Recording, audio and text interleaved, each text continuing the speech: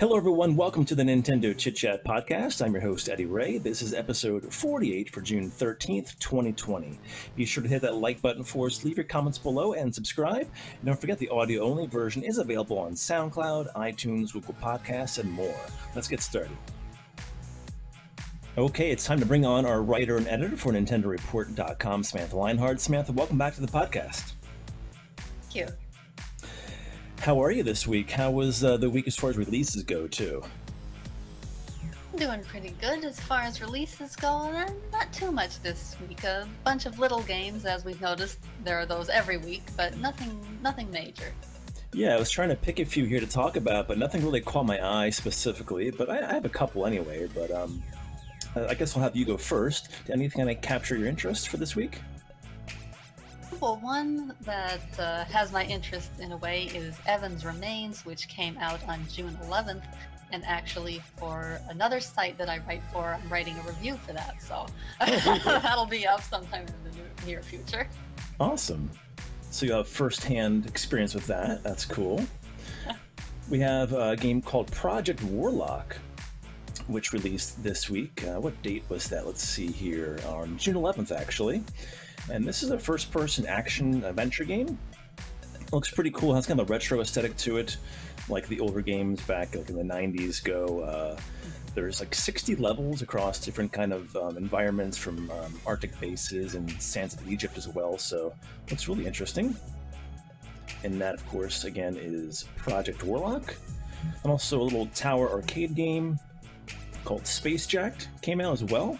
So if you like uh, arcade-based tower defense games and aliens and stuff, uh, check out this game as well.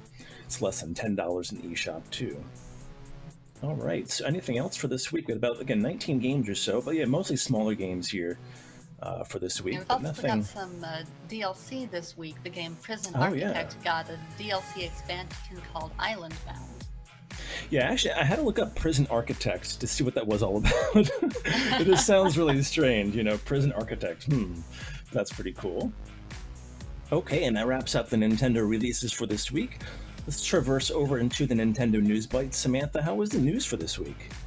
Uh, this week, of course, we've got all these E3 replacements of sorts, all sorts of digital showcases and things. There's several announcements, actually, several things to report.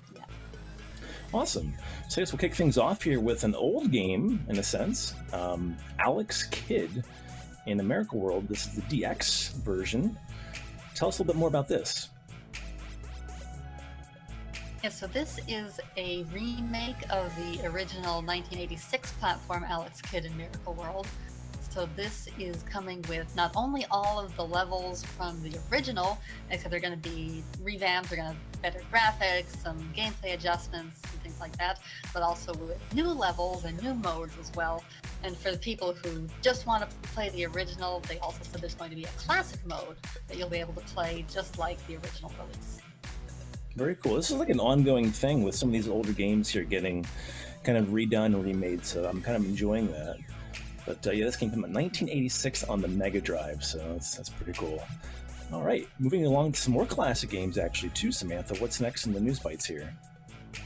Right, so this one we actually had the, a report about the leak that this was coming in oh, yeah. one of the uh, gaming news segments, I believe, a week or two ago. Uh, this is the Namco Museum Archives Volume 1 and Volume 2, which is the Western version of the Namco collection. Uh, it's been split into two volumes here. Uh, I believe each has uh, 10 games, maybe? Yeah, I think I'm so. not sure. Something like but anyway, yeah, so these are two collections of classic Namco games. Uh, there's four that were only in the Japanese release, but here we've got uh, Volume 1. We've got the list here has Dig Dug, Dragon Buster, Dragon Spirit, The New Legend, Galaxian, Mappy, Pac-Man, Pac-Man Championship Edition, the, the 8-bit demastered version. Uh, Splatterhouse, Wanpaku Graffiti, Sky Kid, The Tower of Druaga, and uh, Xevious? I'm not sure how you say that one. and then Volume 2 has Battle City, Dig Dug 2, Dragon Buster 2, Galaga Plus, which says it's the 8-bit consoleized version. I'm not sure what uh, Legacy of the Wizard, Mappy-Land, Mendel Palace, Hackland, Rolling Thunder, and Super Z. So quite a collection, actually. Not too bad at all. I kind of like some of those games, so I may have to check those out in the Namco Museum Archives Volume 1 and Volume 2. And that's coming out again on June 18th, so just about five days away. All right, so I guess some of the bigger news here is next uh, regarding some new Paper Mario, the Origami King. Got an overview trailer, Samantha. Tell us more. Yes, so the original trailer, as you're probably aware, left people with a lot of questions. a lot of questions. People were saying, is it going to be an RPG? What's the comic going to be like? Are there really partners? What's going on? And, you know, people were analyzing every single frame of the trailer. Exactly. figure things out. But now they released an almost six minute long overview trailer that goes into more detail so from this, I my feelings are even more mixed than they were before, if possible, because we've got the combat system, which seems like it's probably not an RPG. There doesn't seem to be any sign of experience or leveling up. Mm-hmm. On the other hand, they introduce the companions in more details, and they do seem to at least be temporary partners who will be accompanying you. And they also showed off a lot of the game's environments and different gameplay features and things so, what do you think then overall so far from what we know, what we've seen? Um, I guess comparing it to the latest um, game in the series, Color Splash. Yes, I don't know. I'm conflicted. I was hoping it would be closer to the originals, and it seems like it is trying to like move a little closer in that direction because well, we do have partners, although they might be temporary, and they do have names, although uh, the Toad has the name Professor Toad, which isn't exactly the most unique name they could have given him. Right. But, you know, that looks interesting. And battle system, well, it's not an RPG, but it, looks like it could be fun. And then they introduced the bosses, and I've been hoping that they would get away from this obsession with the paper, the paper mm-hmm. aspect of things. Like they just become obsessed with it, and now we're fighting stationary supplies. That's not what I was hoping to see. Yeah, they really stick with their themes, don't they? I suppose so. yeah. But uh, so this game comes out. Is it this month? I forget. I think so, right? Oh, July. Okay, so not too far like away. July seventeenth or something like that. Yeah, about a month away. Um, see, I mean, this game's pretty much finished. Uh, we need to learn a little bit more, I guess, as we go through here. Probably get some more trailers, some more information regarding it. But this is the overview trailer, so this is the overview of the game. Um, so what you see is pretty much what we're going to be getting, you know, as far as what we can tell right now. So I guess we will learn more in the next week or two here, Samantha. We'll kind of Go to the next game, I guess, in the news bites is Samurai Jack Battle Through Time. Gameplay footage was actually shown during IGN Summer of Gaming 2020. So, what's this game all about? Yeah, so this is an upcoming action game based on the Samurai Jack series, and I will admit I have absolutely no familiarity with Samurai Jack same whatsoever. Yeah, I've never watched it. I'm not sure I could have even told you anything about it. Right. Uh, but when I was watching the gameplay footage, I noticed that, you know, it looks like it might be a fun game. Like, I, yeah. I have no familiarity with the source material. But the, the game looks like it's going to be fun. Yeah, it looks pretty action packed. The combat looks pretty good and fun as well. And, uh, you know, the actual aesthetics and graphics looks pretty good too. So, looks pretty good. So, we have the trailer up here on NintendoReport.com for this one as well. So, if you missed that, go check it out. And we have a horror game to talk about too, Samantha. So tell us more about the next horror game we have information for.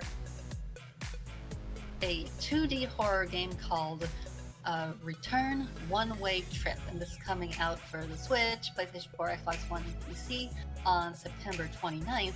And when I was watching the trailer, I was thinking, this looks very familiar.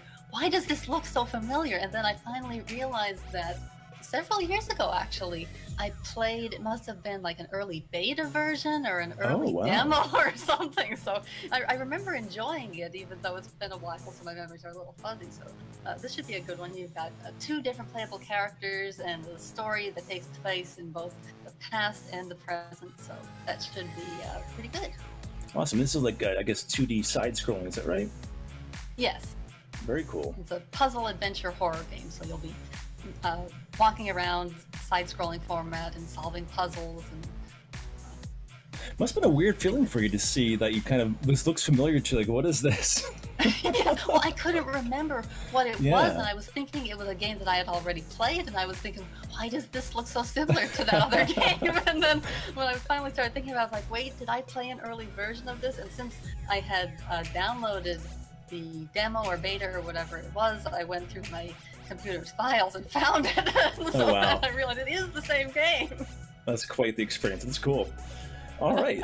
so that wraps up the news bites here for this week. You check it out at NintendoReport.com for all the latest news and information regarding Nintendo games. All right. Going into the time portal now, Samantha. We have the weeks, or the week for June 7th through June, June 13th. We have some Legend of Zelda here. What's this one? So we're starting with June 7th, 2004, which was the North American release of The Legend of Zelda Four Swords Adventures. Did you play this title? I had it. I remember starting it. I don't think I ever finished it. I'm not sure how far I got, but I do. I was playing it alone, so it was, it was like a multiplayer game, but Oh, you yeah. could play alone if you wanted to, and you'd be controlling all four links. And I remember controlling the four links, but I don't remember getting very far. right. Yeah, I think it was more fun, of course, having friends be able to play with. Uh, I guess this was the, also what inspired Triforce Heroes. Then is that right? been. I know there was another Four Swords before this. Uh, I think that one was just called Four Swords and was Yeah. bundled with uh, A Link to the Past, maybe? One of the releases of Link to the Past? Might have So- been. but yeah. then I think Triforce Heroes, the idea of cooperative Legend of Zelda, I think, came out Yeah. with these games. Yeah, I remember playing uh, Triforce Heroes back. I guess was, was probably like five, six years ago already. That was pretty fun Wow. to play online with some friends. But yeah, very cool. All right, then we have Killer 7. That came out for the GameCube back on June 9th, 2005. And uh, what is this game? Killer 7. Yeah, so this is another GameCube game, and describing what it is or trying to explain what it is is not easy. it's sort of an action adventure shooter thing. Uh, you play a group of assassins who are all uh, manifestations of one person, and trying to explain the plot would be nearly impossible. this is a very uh, strange game. This, uh, at the time, it was kind of received with mixed feelings by people, but it's one of those games that, in retrospect, uh, it's become a cult hit. So you've got people who like that weird Killer Seven game that came out, and now it's, now it's more popular. Very cool. All right, and then we have some Castlevania to talk about as well for June 11th, 2001. And which Castlevania game is this? This is Castlevania Circle of the Moon. We had previously talked about one of the Game Boy Advance Castlevania games a few weeks ago, or last Oh, month yeah. actually, in the Time Portal. And so this one was the first of the three Game Boy Advance Castlevania games, Circle of the Moon. And so it seems like it was fairly well received when it came out and was successful, but uh, it's actually not considered canon they declared it non-canon and officially removed it from the Castlevania timeline. So it Oh, just kind of stands on its own out there by itself. that is really interesting. I don't think I've ever played this particular Castlevania game. Um, me and Castlevania, I don't know, kind of love and hate relationship with that series, but uh, that's cool. So that's for Game Boy Advance back in 2001, June 11th. Wraps up the time portal then for this week. Thanks, Samantha, for doing that. All right, Samantha, do you have anything you want to talk about or plug before we head out with the podcast?